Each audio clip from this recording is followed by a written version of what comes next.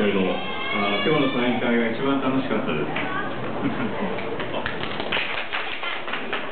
谢谢大家在今等到现场。他虽然说呃他写了这么多名，不知道我自己会谢谢他写今天写的这句话。